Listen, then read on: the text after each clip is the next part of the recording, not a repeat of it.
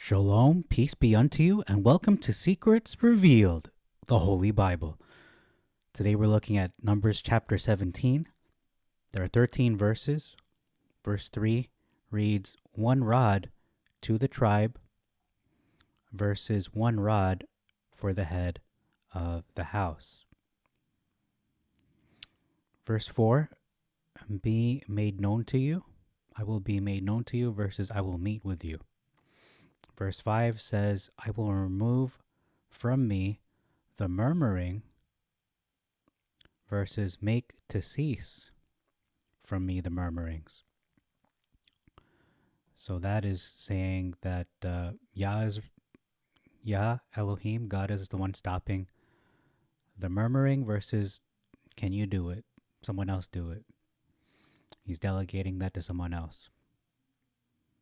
Um, I will remove from me versus oh, actually does say I will make to cease. So it is Yah doing it in both. Um, let me just write that down.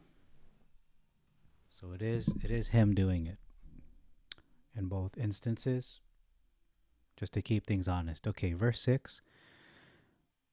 Aaron's rod or Aharon in the Hebrew in the midst of the rods. So it's possibly in the middle, his rod, versus among the rods. So that is a potential difference there. It's not exactly clear. Uh, we see in verse 7, for the first time, Septuagint is calling it uh, the tabernacle of witness uh, in the Masoretic. So the Septuagint calls it the tabernacle of witness. That's what it calls it. In the Masoretic, it sometimes calls it the tabernacle of the congregation. But here, it correctly identifies it as the tabernacle of witness for some reason. Verse 8, we see a significant difference in the rod of Aaron says it blossomed versus it brought forth buds. So it budded. Although, to be fair, it does say and it bloomed blossoms. So why would it just say it budded? Maybe it's talking about a progression, I'm not sure, but in the Septuagint at least, it is saying that it did blossom, meaning it, it put forth a bud, first of all, and then bloomed blossoms and produced almonds. So there's a progression here. Okay, moving on to verse uh, 10, we see it's to be kept. Lay up the rod of Aaron. This is to be kept as a sign for the children of the disobedient meaning their parents were the disobedient ones, so that these children may or may not be disobedient, and let their murmuring cease from me.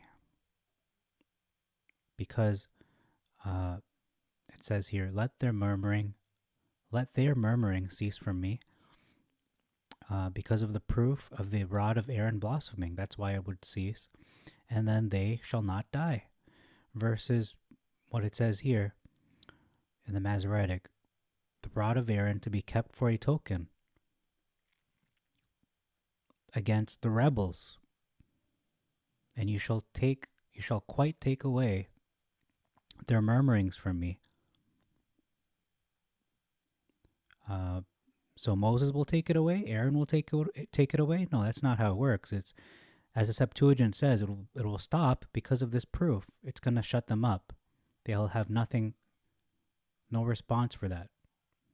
That they die not. Again, it's similar there. The, the big difference, again, is that Yah is identifying the children of the disobedient, not the rebels. He's not saying they're all rebels. He's only saying uh, you parents are the disobedient ones, and your children will have this witness to them, and perhaps they will not die because they will not murmur as you did. They will obey, they'll be more obedient, perhaps. Verse 11, we have an omission of Aaron. Again, he's not included. Feels bad to be Aaron. So did they, versus so did he. So again, we're talking about Moses and Aaron were given commandments and they did it versus only Moses. No, Aaron was very much involved as well, and it's not fair to omit him from this narrative because he did participate. He plays a big role as well in this history of Israel. Verse 12 says, Behold, we are cut off, we are destroyed, we are consumed. Versus, Behold, we die, we perish, we all perish. That's redundant. Here we can see, yes, we are cut off, meaning we are destroyed and we are consumed. This is uh, the children of Israel talking to Moses, expressing their fear.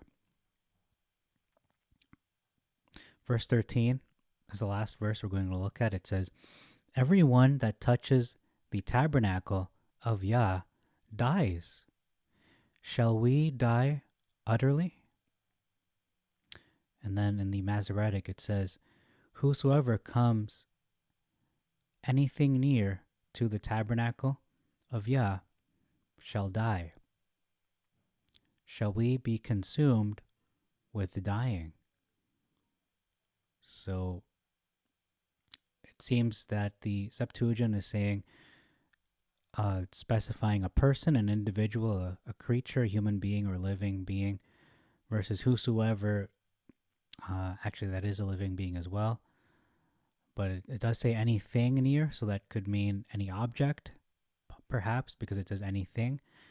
And then it talks about in the Septuagint, shall we die utterly? So this is just being consumed, is being destroyed, versus being consumed with dying, as opposed to being consumed with other methods. So that's all I have to present to you today. Uh, we can see in this chapter, uh, I think the biggest differences here are the identifier of the children of the disobedient versus the rebels, which seem to put everyone under the same umbrella, and that's just not the case here. And the title of this video, the title will be uh, Aaron's Rod. Aaron's Rod that blossomed. So thank you very much for your time. May Yah bless you and make you a prosperous.